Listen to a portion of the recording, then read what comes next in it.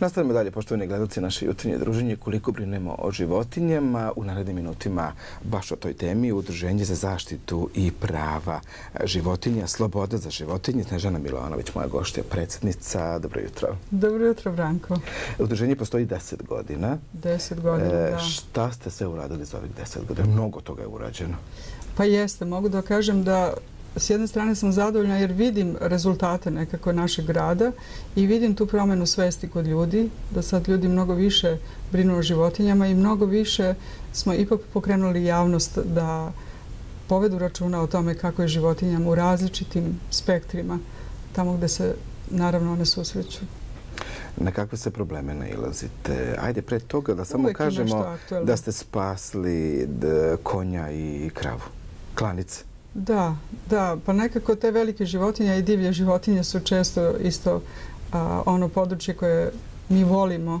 I a, jesmo, ranije smo imali tu situaciju da smo jednog trkačkog konja bukvalno izvukli iz klanice jer je već bio a, klaničar ga otkupio na licitaciji pa smo imali velikih problema da ga mi otkupimo. Vrlo brzo smo sakupili novac.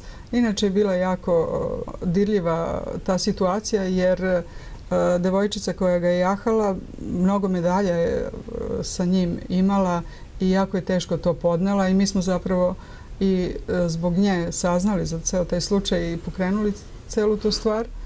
I Amar je posle toga završio kod Zvonka Bogdana jedno vreme i jahala ga je onda i ona čak i, i Karleuša snimala jedan spot sa njim.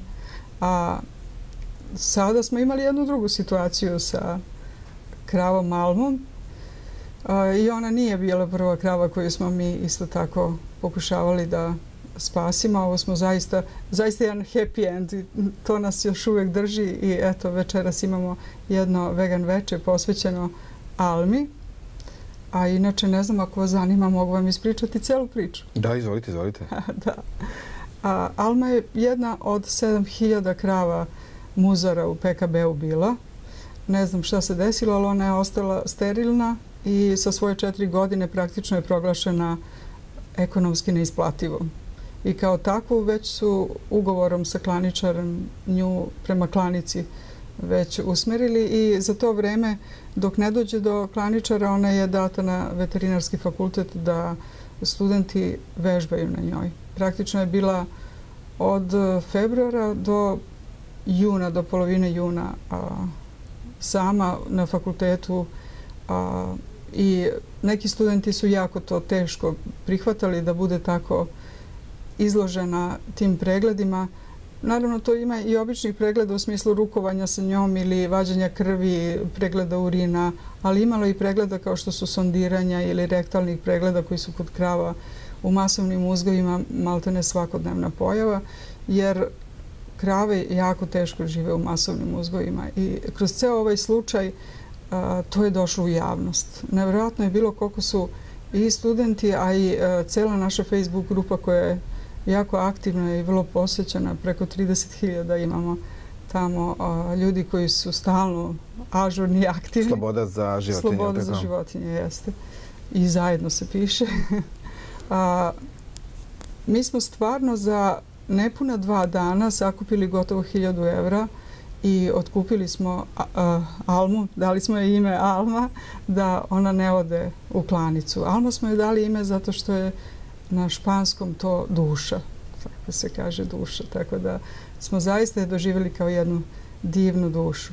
A inače, ceo taj proces što se tiče samih krava, koje su bukvalno zatvorene, stalno na lancima zavezane, sa, tim, sa tom hranom koje je uglavnom i seno, koncentrati, znači ne sveža trava i, i sve ono što imaju slobodne krave, dva puta dnevno idu samo na one automatske muzilice, a pre nego što uh, dobiju tu veliku količinu mleka od 20 do 40 litara, jer to je Holstein e, rasa u pitanju, a obavez, obavezno im se tele oduzme i to je jako, jako bolno za njih. One jako pate i riču dugo i taj proces da bi ljudi uzimali mleko od krava, nekad bi ljudi trebali da se zamisle kako je kravama, a i kako je tim teladima koji su naravno posle toga odmah upućeni ili na klanicu ili na masovni, za masovni tov e, namenjene zapravo za, za ishranu ljudi. To je uopšte e, jedan jako težak i surov život tih životinja koje žive zarad konzumiranja mesa i to postaje sve, sve gore i sve masovnije. Tako da nekako mi sa ovim uh, celim slučajem malo smo ljudima približili kako je životinjama u tim masovnim uzgojima. Malo su ljudi razmislili, puno njih je reklo nisam uopšte znao od sada neću da jede meso i to je nama jako drago. I zato je to večeras u 18 sati u našem prostoru u ulici Vojvode Šupljikce u Beogradu. To je između Depoa i Orla na bulevaru Revolucije kod Vuka. Evo i vaše gledalce pozivamo da dođu. Biće naravno sve veganski. Od falafela do sirove ishrane i špageta sa naravno svim povrćima koje su u, pod biozaštitom mi se trudimo da zaista... Da li se plaća ulaz ili besplatan ili? Mi se ceo prilog, to je samo sa prilogom, ko želi da ostavi, nije obavezan, ali to je namenjeno Almi, a mi kao članovi udruženja to pripremamo za druge ljude. Da vide da je i veganska i vegetarijanska ishrana zdrava i ukusna. Na kakvo razumevanje nailazite? Ima li uopšte razumevanja, podrške? Pričate o nekim stvarima koje možda neke ljude i ne zanima, oni jedu meso i tako će i nastaviti. Da, pa što se tiče same podrške, ljudi su sve senzibilni, to je činjenica da je tako. Podržavaju se i kažu smanjit ćemo upotrebu mesa, to nas ne zanima, mi dalje jedemo, vi pričajte šta hoćete. Pa generalno gledano budućnost je veganska. To, to se vidi po nekim statističkim podacima i po tome koliko rapidno u zadnje vreme dolazi do toga da ljudi prelaze na takvu ishranu. I ne samo to, nego puno proizvođača ima koji su okrenuti ka proizvodnji sad vegetarijanske i veganske hrane i mnogo više. E, evo sad e, baš smo postavljali i na naše stranice čitavi lanci e, supermarketa koji su potpuno veganski se otvaraju. Konkretno sad je u Berlinu jedan otvoren i taj isti čovjek koji je to otvorio za godinu i po dana 12 takvih veganskih supermarketa otvara po celoj Evropi i šire u svetu. Isključivo veganska hrana. Isključivo veganska hrana, ali ona nije samo za vegane. Tu dolaze ljudi koji jedu meso, ali imaju naravno priliku da se upoznaju sa i tom vrstom ishrane i da se upoznaju sa tim da je to jako zdrava i potpuno ishrana koja potpuno zadovoljava sve zahteve koje jedan organizam ljudski ima. Stvar je samo u našim navikama, ali stvar je u tome što ljudi koji jedu meso vrlo često i ne znaju šta treba da urade i šta treba da zameni to meso, a da to bude zaista jedan ukusan i dobar jelovnik. Mi se zaista trudimo u tom pravcu i dosta smo napravili u saradnji sa TV studijom 7 emisija koje su vezane za vegetarijansku ishranu I e, sada je u pripremi jedan veganski kuvar, a jedan vegetarijanski kuvar smo već izdali i to englesko-srpski. I pomoću tog kuvara se mogu preko telefona gledati emisije o veganskom kuvanju. Tako da se trudimo da ljudima to ne bude e, problem, da to ne bude nešto teško, nego da to zaista bude radosno i da vide da može i nekako drugačije. Vi ste već 27 godina. Da, ja sam. Vegetarijanica, evo, živi ste, zdravi ste, normalno živite. Znači da je to sve normalno i moguće. Nisam do sada uopšte bila bolesna, zaista, mislim, od nekih banalnih možda prehlada. A šta jedete? A, pa zaista sve, evo mogu da vam kažem šta sam Recimo, juče jela. Eto, šta ste jeli juče za doručak, ručak i večer? Pa za doručak sam, evo, stavila jedan, a, u jedan blender a, banane, nektarine, a, ove breskve i stavila sam a, in, sirove indijske oraščiće. A koliko je ta hrana skuplja u odnosu na ono što kupujemo pa nije ako nismo vegetarijanci? Zaista nije skuplja. A, je, kod nas je malo problem što nema uh, dovoljno uh, organske gajene hrane. A gdje vi to se nabavljate? Uglavnom na pijaci. Ja može da se trudim, nađe? Može. Uh, ima na pijacama u Beogradu, a vidim sad da ima i u supermarketima čak hrane koja je Ili u prodavnicama možda zdrave hrane. Da, da, da. Dobro, ručak? Hm? A za ručak sam imala punjene paprike, ali ne sa mesom, nego su one e, punjene bila sa jednom mešavinom koja je od suncokreta, od leblebija, sa puno jako lepih začina. Naravno, tu ima i pirinča i svega. I to e, kad se začini, nema nikakve, kako bih vam rekla, jako su ukusne. Tako da, eto to sa pireom. Hleb? Pa hleb se trudim uglavnom crni da e, konzumujem. Sami, sami ovi mesite pa ne, ili kup, ne, kupujete? kupujem, ali već ima sad na asortimanu jako dobrih Dobro. hlebova. takve Večera? A, večera je sinoć meni isto bila voće. Jer sami jedete u kući ili svi? I, ili vam se i suprug pridružuje ili ne? A suprug mi se pridružio, da.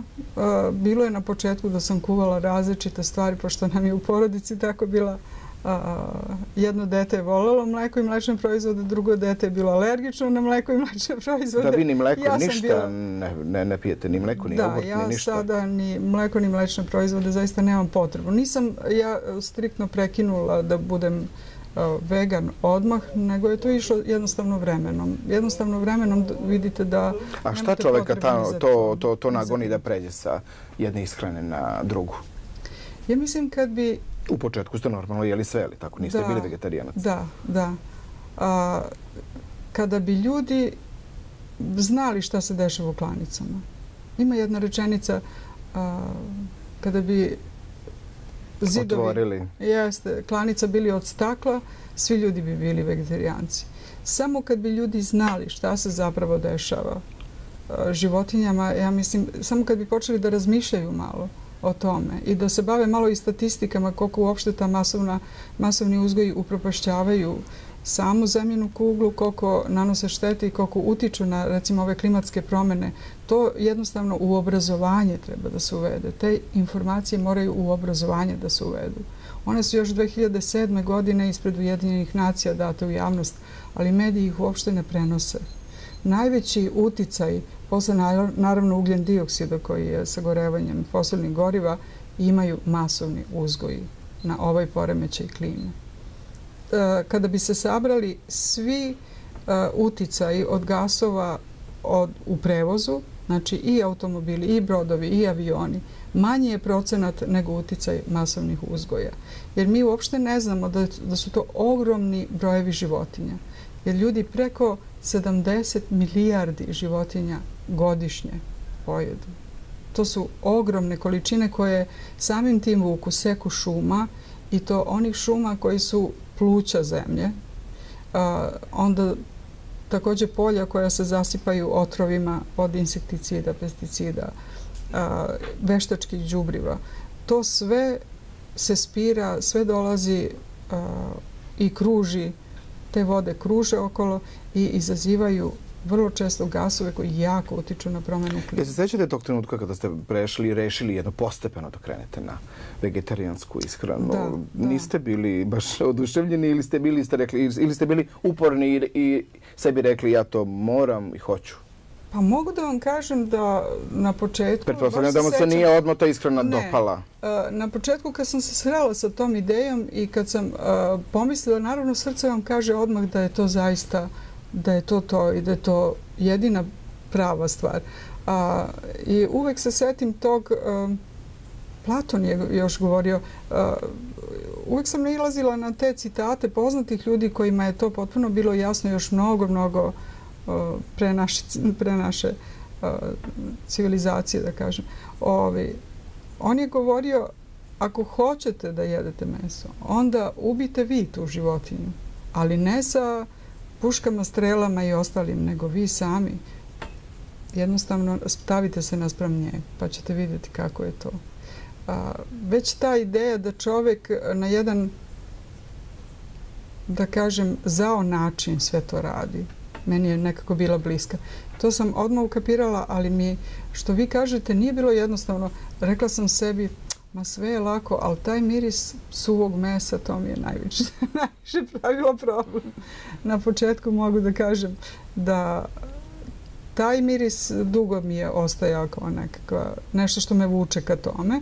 I uh, ja nisam bila fanatična u tom početku da kažem, e, od danas. Nego sam više, kažem, što i sada preporučujem naravno svima, razmišljala o tome kako je životinjama. Razmišljala sam o tome uh, kako je jagnjadima, kako je kozama, kako je kravama, kako je telićima u tim masovnim uzgojima, šta se u stvari tu dešava. Upoznavala sam se sa svim tim situacijama i bilo mi je vrlo jasno, ja u tome neću da učestvujem i to vrlo brzo onda postane primarno, ne ta strast za jelom, nego... I ne samo jelo, nego i psi, mačke, sve ono što... O, naravno, to je isto... I ostale jedan, životinje. Da, naravno, e, samo što se zaista dosta udruženja bavi sa psima i mačkama i to je nešto što je već ljudima blisko. Oni, uh, mi smo već sa njima kao prijatelji.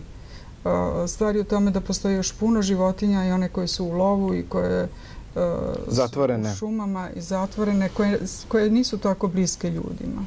Znažena, hvala lepo što ste bili gosti jutarnjeg programa. Pozvat ćemo gledalce, evo spremili smo i dva časopisa, to je, je. E, Sloboda za životinje i ovo je... To je zadužbina Gabriele, mi podržavamo da. celu tu ideju, to je jedna predivna ideja o tome da životinje treba da isto dožive potpuno oslobađanje što one na toj zemlji imaju. Gledalci mogu da posjete vašu web i Facebook stranicu, da se o svemu informišu, da vas pozovu, da budu članovi udruženja i da vremenom pokušamo da se zdravije hranimo, da nam bude bolje i da duže živimo. E, ja se, ja se nadam da će doći i za mog života do ovako masovnijeg nasovnije primene eto, takve vrste ishrane. To bi, to bi me jako radilo. Puno uspeha, hvala lepo i srećan put. Hvala i vama.